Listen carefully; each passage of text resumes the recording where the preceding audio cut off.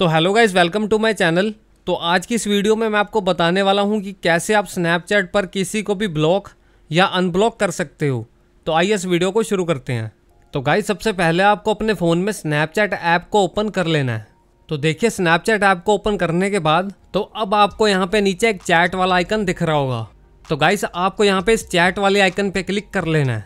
तो देखिए चैट वाले आइकन पे क्लिक करने के बाद अब आपको यहाँ से जिसको भी ब्लॉक करना है तो आपको यहाँ से उसकी प्रोफ़ाइल को ओपन कर लेना है। और गाइस आप उसकी प्रोफ़ाइल यहाँ पे सर्च करके भी ओपन कर सकते हो।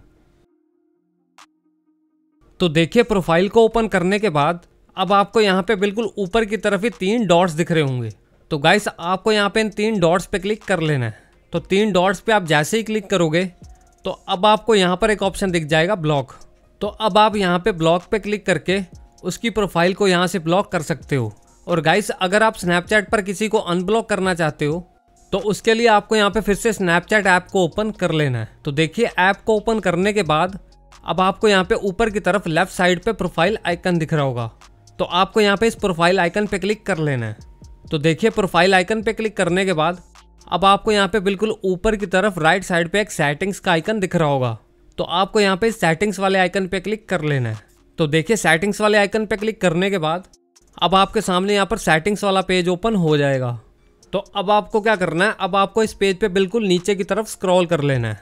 तो जैसे ही आप यहाँ पे बिल्कुल नीचे की तरफ़ आओगे तो देखिए यहाँ पर आपको एक ऑप्शन दिख जाएगा ब्लॉग्ड यूज़र्स तो आपको यहाँ पे इस ऑप्शन पे क्लिक कर लेना है। तो जैसे ही आप यहाँ पे इस ऑप्शन पे क्लिक करोगे तो अब आपने स्नैपचैट पर जिन लोगों को ब्लॉक किया है, वो सब आपको यहाँ पे दिख जाएँगे।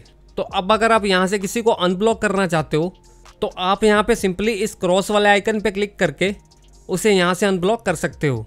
तो गाइज़ यही था स्नैपचैट पर किसी को भी ब्लॉक या अनब्लॉक करने का सिंपल सा प्रोसेस तो अगर आपको यह वीडियो पसंद आई तो इस वीडियो को लाइक कर देना चैनल सब्सक्राइब कर लेना तो मिलते हैं अगली वीडियो में।